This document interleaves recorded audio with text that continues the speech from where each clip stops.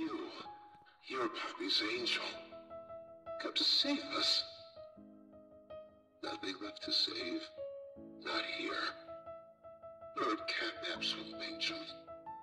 Their home. A million pairs of eyes are on you now. Watching, waiting, hungry.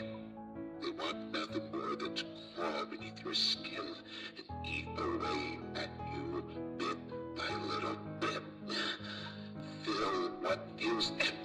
themselves. That thing, Catnap. The prototype is his god, and this is what he does to heretics.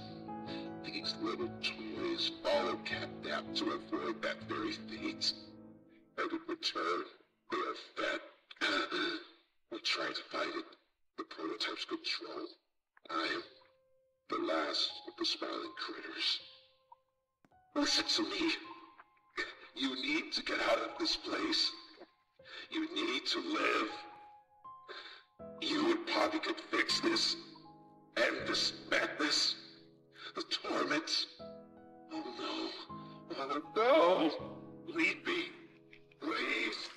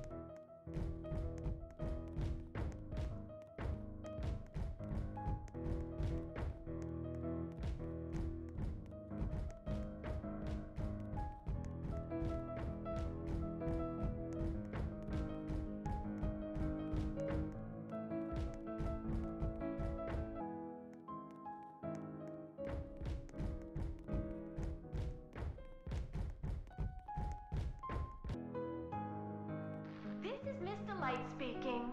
Please excuse the interruption. Students, remain in your seat until the bell has rung. And no going in the halls without a hall pass. Wait, I recognize you. Yes, I remember. You used to work here. How are you? Alive. Hmm? Barb? Oh. Barb says you're looking for your coworkers. Catnap wouldn't like that you're here. You should leave. For your own safety. Not a good listener, are you? You're a lot like the other humans in that way. I wonder if your screams will sound like theirs too. I look forward to finding out.